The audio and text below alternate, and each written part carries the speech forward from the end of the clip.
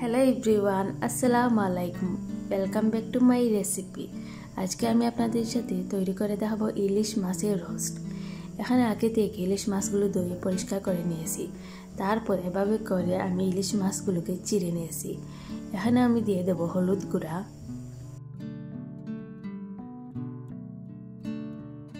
মরিচ গুঁড়া। স্বাদ মতো লবণ। এখন আমি সব মশলা একসাথে ভালো করে মিশিয়ে নেব।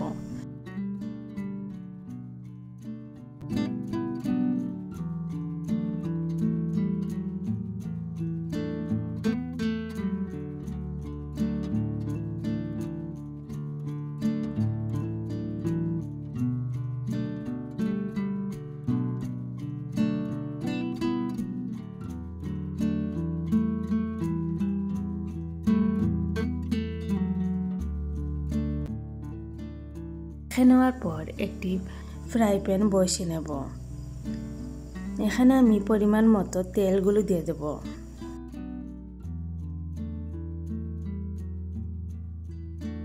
এখানে ইলিশ মাছগুলোকে আমি এখানে দিয়ে দেব।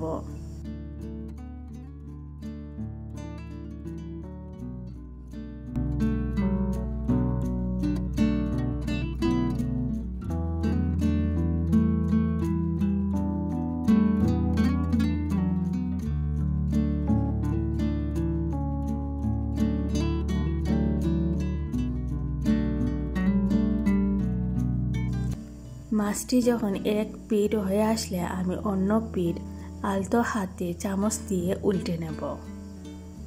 মাছটি আমি হালকা গোল্ডেন ব্রাউন কালার করে বেজে নেব। আমি চামচ দিয়ে এভাবে করে মাছের গায়ের উপরে এভাবে করে তেলগুলি দিয়ে দেব।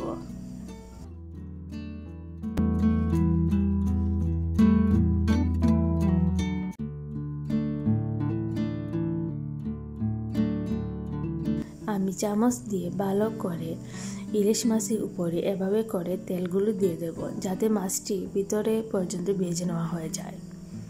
চুলার আজ মিডিয়াম টু হাই হিটে থাকবে। মাছগুলো যখন ভেজে নেওয়া হয়ে যাবে, তখন আমি মাছটি নামিয়ে ফেলব।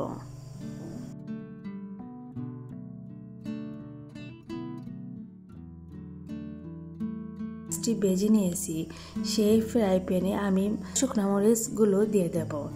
তারপর এটিকে আমি ভালো করে বেজে নেব।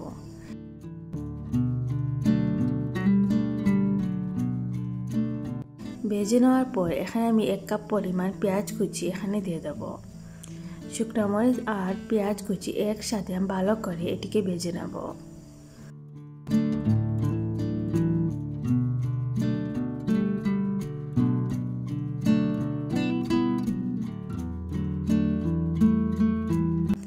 বেজে নেওয়া হয়ে যাওয়ার পর এখানে আমি দুই টেবিল চামচের মতো পেঁয়াজ বাটা দিয়ে দেব। তারপর আমি এখানে ভালো করে মশলাগুলো একটু কষিয়ে নেব।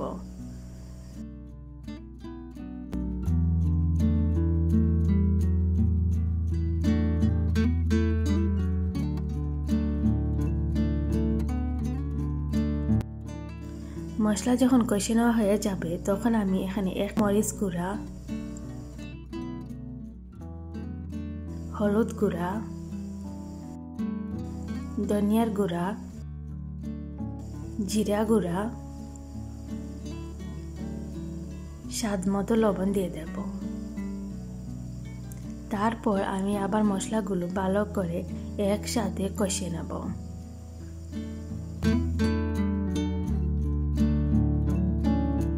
মশলা যখন কষিয়ে নেওয়া হয়ে যাবে তখন আমি বেজে নেওয়া ইলিশ মাছটি দিয়ে দেব।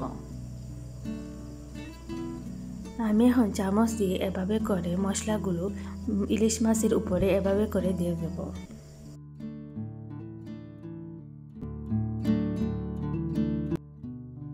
আমি এখানে দুটি চামচ দিয়ে ভালো করে মাছটি হালকাভাবে এভাবে করে উল্টে নেব।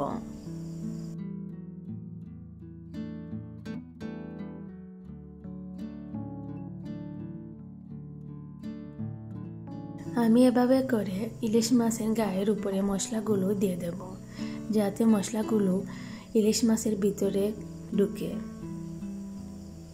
আমার এখানে ইলিশ মাছের রোস্টটি হয়ে এসেছে। এখন আমি মাছটি নামিয়ে ফেলব। আমি আজকে আপনাদেরকে ইলিশ মাছ পরিবেশন করে দেখাবো। আমি এখানে জারা লেবু নিয়েছি। তারপর এখানে কাঁচামরিচ, পেঁয়াজ কুচি, চেরি দিয়ে আমি মাছটিকে পরিবেশন করে নেব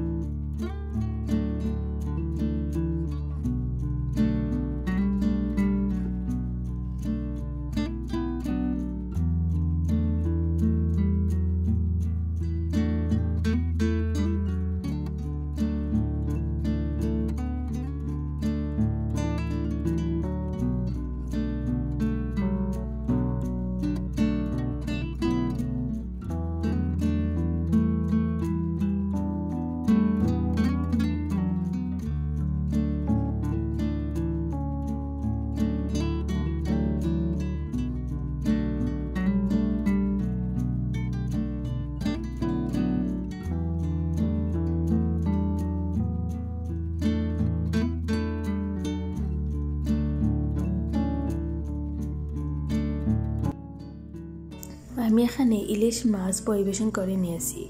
যদি আপনাদের কাছে আমার এই ইলিশ মাছের রোস্ট বাজারটি ভালো লাগলে, তাহলে প্লিজ লাইক, কমেন্ট, শেয়ার এবং সাবস্ক্রাইব করতে ভুলবেন না।